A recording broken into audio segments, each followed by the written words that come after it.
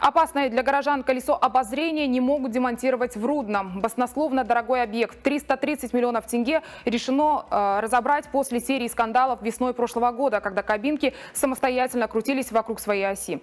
Колесо не проработало и месяца. Его закрыли, а потом и вовсе решили демонтировать. Однако сделать этого не могут до сих пор. Почему? Разбиралась наш корреспондент Айжан Утевова.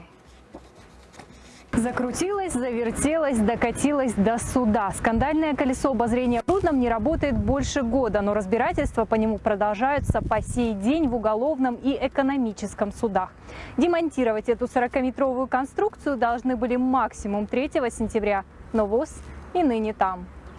Демонтировать аттракцион за 330 миллионов тенге должны были Руднинский отдел строительства и подрядчик, возводивший объект, компания «Алатау Горстрой». Но принудить фирму сделать это оказалось совсем непросто.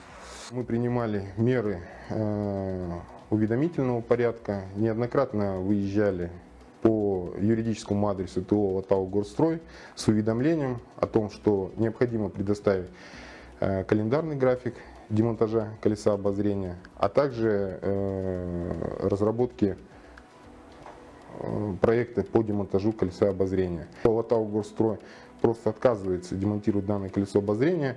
Фирма на грани банкротства, ее учредитель в международном розыске, а юрист вместе с бывшим руководителем отдела строительства на скамье подсудимых за хищение бюджетных средств. Оказалось, что колесо, презентованное как российское, на самом деле является китайским и стоит в два раза дешевле потраченных 330 миллионов тенге. Рудничане возмутились такой дорогой и бессмысленной стройкой. Я вообще считаю, что зря его построили с такими нарушениями, что лучше бы что-нибудь другое построили. Ну, не приняли горожане его, не приняли.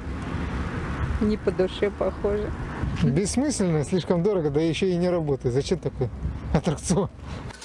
Понимая, что историю с колесом обозрения сейчас не раскрутить до логического конца, отдел строительства и Центр защиты прав потребителей подали иск в суд, требуя отсрочить демонтаж до января следующего года. Тогда будут заложены средства в бюджет, разыграны конкурсы и определен подрядчик, который разберет опасный аттракцион. Проекты работы по демонтажу влетят в копеечку местным властям. Они намерены взыскать эти деньги с недобросовестного подрядчика.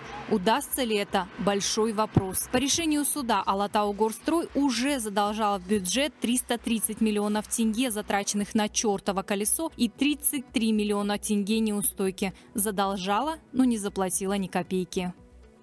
Айжан Утева, Кайрат Елеусизов, телеканал Атамикен Бизнес.